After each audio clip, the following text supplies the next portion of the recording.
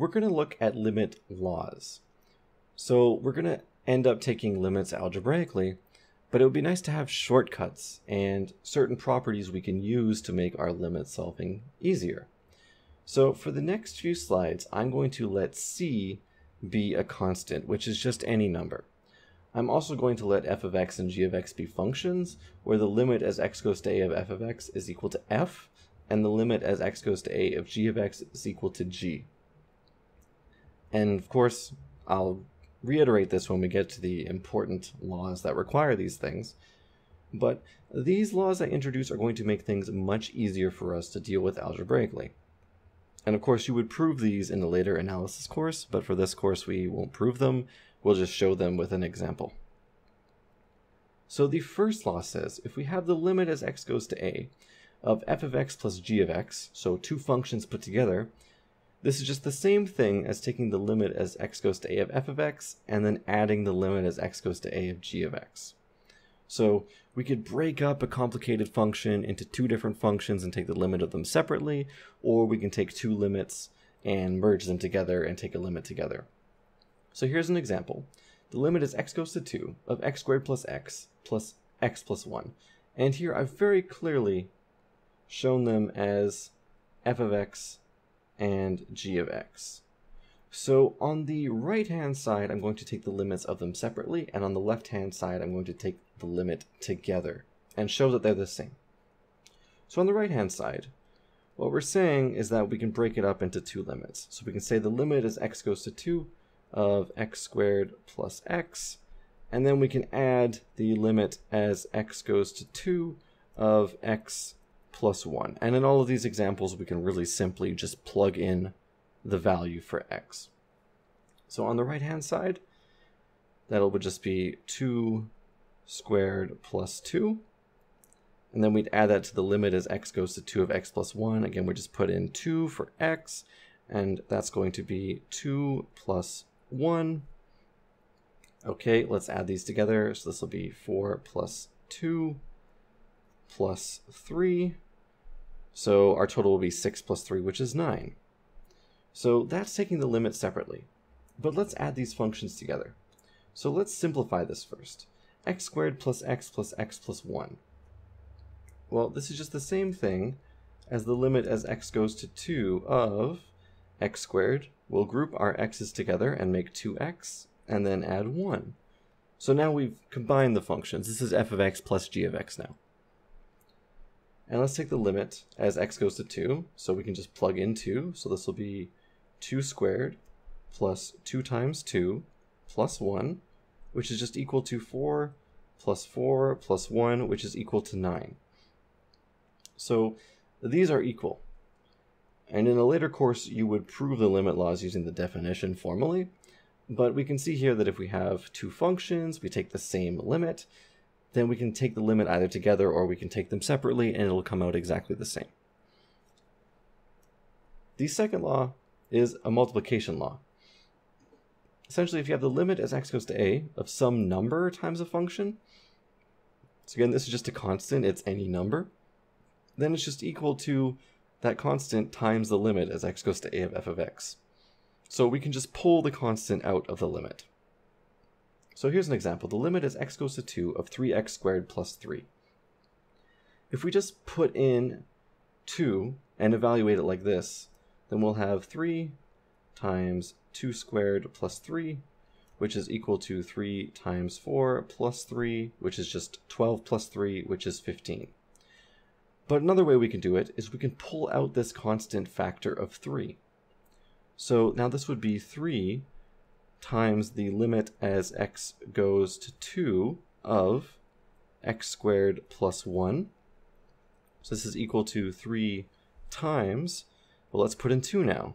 So this will be 2 squared plus 1, which is just 3 times, well, 2 squared plus 1 is the same thing as 5. So 3 times 5 is just 15. And again, we can see that these values are the same. So sometimes it's easier to pull out a constant factor because it makes multiplying all those other numbers uh, much easier than just including them into every term. So that's a nice multiplication law for limits. The third law is that if we multiply two functions together and take their limits, we can just take their limits separately and then multiply the limits together. So here's an example. The limit is x goes to 2 of x squared plus 2x plus 1. Well, we can factor this. So let's factor this. This is just the limit as x goes to 2 of, well, this would be x plus 1 times x plus 1. Okay, so this kind of fits our pattern up here. So f of x is x plus 1 and g of x is x plus 1. So now we can split these up. So we can just take the limit as x goes to 2 of x plus 1, and then we can multiply it by the limit as x goes to 2 of x plus 1, and this should be the same thing. So the limit as x goes to 2 of x plus 1 is just going to be 2 plus 1. We'll multiply that by the limit as x goes to 2 of x plus 1, which is also just 2 plus 1.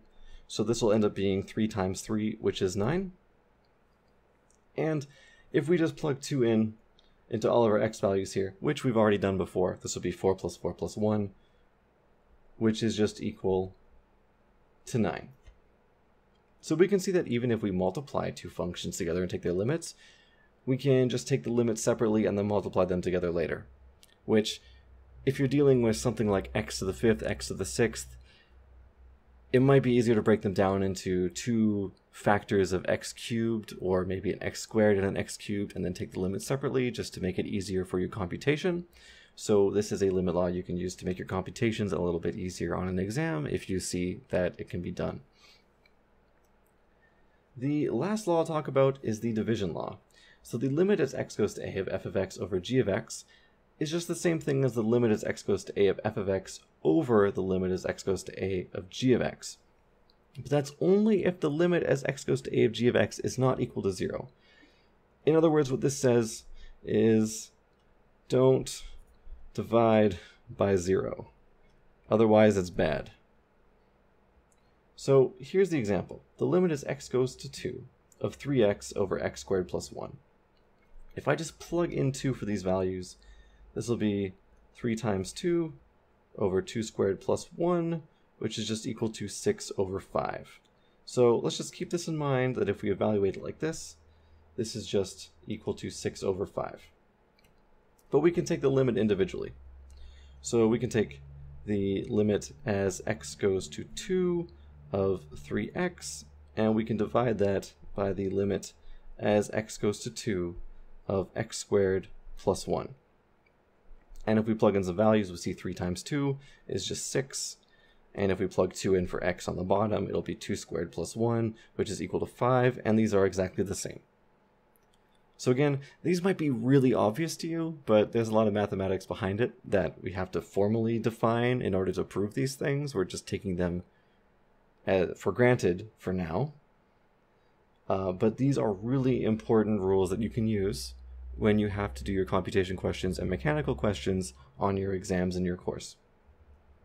So here's a practice question.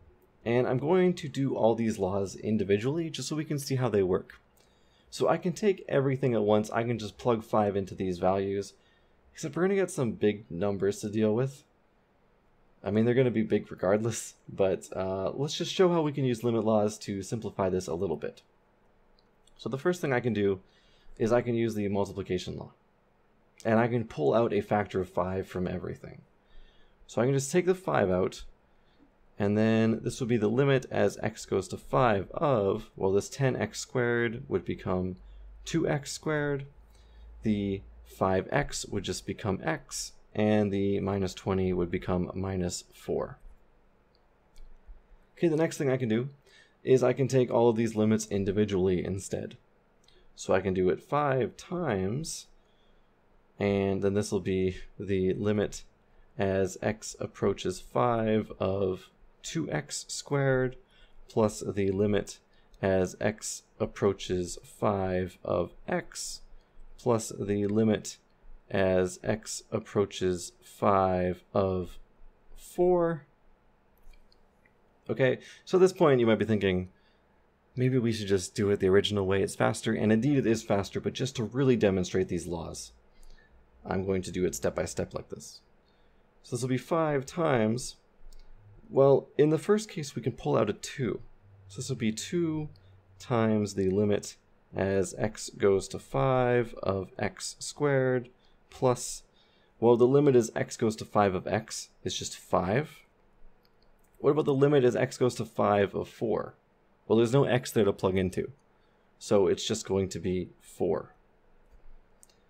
Okay, so this will be 5 times, well, so we're going to have 2 times the limit as x goes to 5 of x squared. What is the limit as x goes to 5 of x squared? That'll be 5 squared. So this will be 2 times 25, because 5 squared is 25. Then plus 5 plus 4, that's just plus 9. So this will now be 5 times, well, 2 times 25 is 50, plus 9 is 59. And now we can see this will be 5 times 59, which is just 250 plus 45, so this should be 295. And that's showing all the limit laws. Of course, it really is faster just to plug in 5 into x up top. So this would be 10 times 5 squared plus 5 times 5 minus 20. Uh, okay, I did make a mistake here. So this should be minus 4 in all of these. This should be plus 1, which would be 51, which would be 255. Okay, I did, of course I missed a negative sign. So this would be 10 times 25, which is 250, plus 5 times 5, which is 25, minus 20. So this would be 275 minus 20, which is just 255. So we can see that they're both exactly the same. One is quicker, of course, but the other is taking each limit law and doing it step by step, which of course with more complicated questions will be very useful. If you have any questions, please leave them in the comments below, and I will do my best to answer them.